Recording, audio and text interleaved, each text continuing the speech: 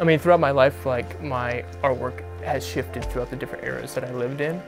And that means a lot because like we take in so many things, we feel things, we see things, we hear things, and all those things that go inside of us, like that's what's gonna come out of us in some form. And through me, it's gonna be through my artwork. If what I'm seeing and what I'm hearing is not um, healthy, or if it's negative or depressing, then that's what's gonna come out of me. And I think there was a point in my life where that was mostly what was coming in. And that definitely brought me into a hole.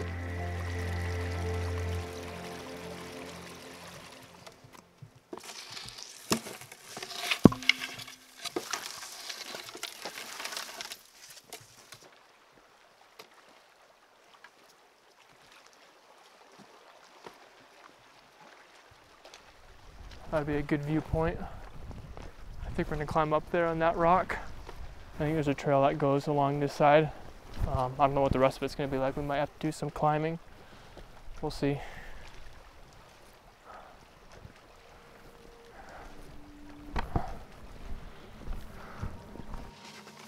I think the depression got so, I think, loud in a sort of sense that I could even like really hear what needed to come out artistically.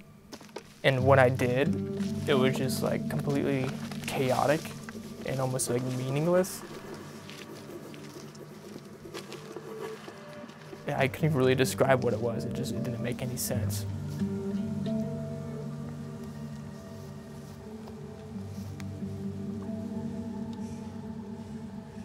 I learn from the artwork that I'm making like it's my way of talking, it's my way of like expression, but it's also my way of understanding who I am a bit more.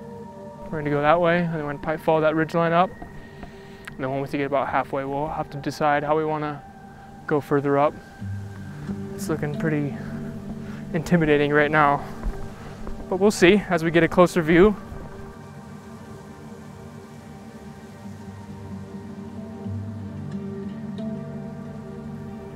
So maybe seeing that form of artwork is allows me to, to kind of like have it be a mirror where I'm looking, kind of like looking at myself through whatever I'm making.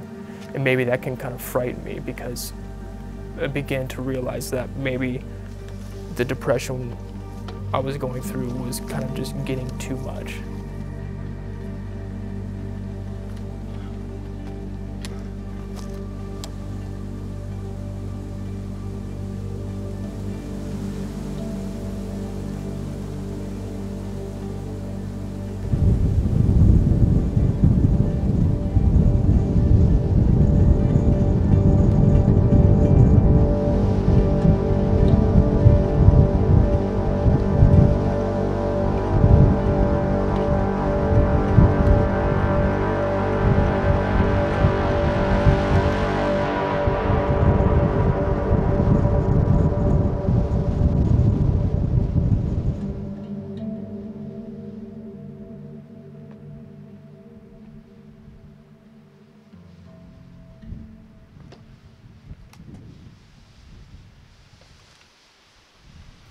I really feel like it was God that kind of pulled me out of that and brought me to a new place. And now that I'm pursuing art, what I put inside me is more about His will and not my desires.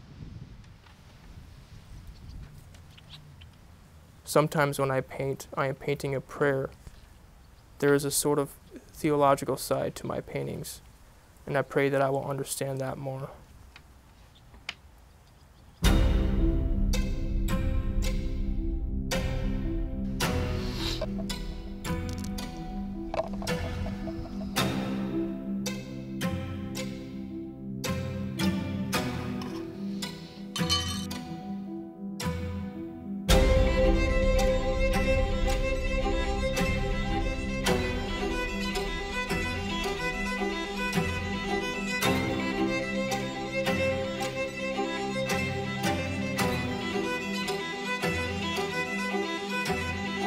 When I create, It is not my intention to just portray an accuracy of the physical place I am seeing, but to create a place, an angle or perspective that has a deeper symbolic meaning of our spiritual life.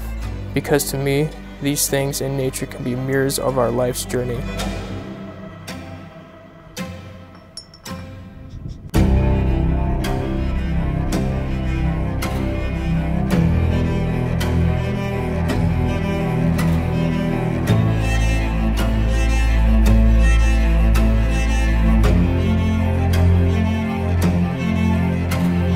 Think that I am learning that when I create and pursue this artistic gift that God has given me, it is a reminder that I am to continually walk in the Holy Spirit, to give my gift to Him so He may use it.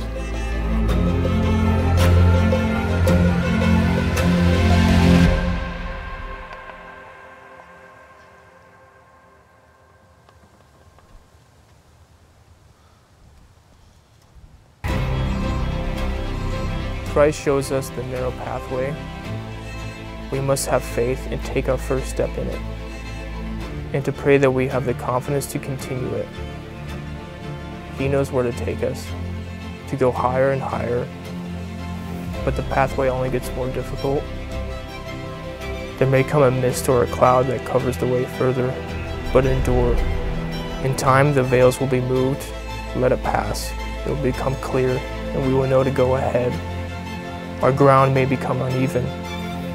Sometimes we will have to climb and use all of our strength to get to the next place above. He will bring us to where we need. We will know, and when we get there, we will see why we came.